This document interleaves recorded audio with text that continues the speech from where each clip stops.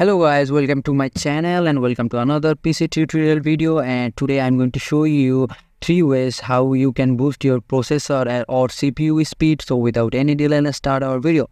First of all go to your uh, search button and here search control panel.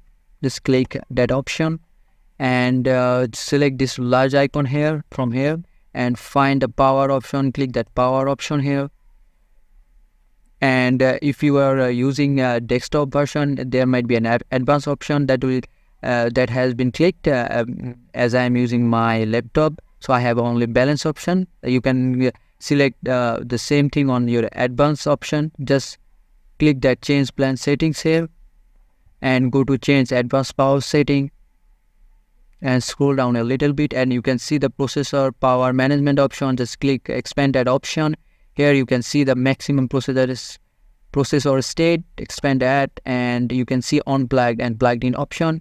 On your desktop there uh, there will be only one option so make it zero.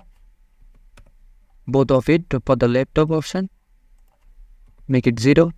And now expand the maxima maximum processing state. Uh, this must be 100% on 100% just make it in 100% and click apply and then, then okay this is the first way and the second way is just go to your search button and click optimize device. Uh, this will pop up and click that option.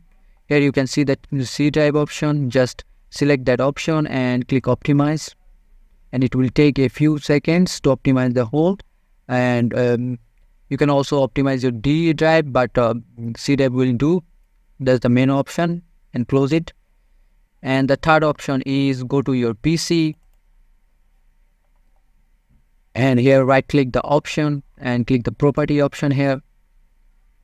And now go to change settings click that option. And go to advanced. You can see the performance visual visual processor uh, scheduling and click this setting option here. And click adjust for the best performance. Just click that option and apply it and okay.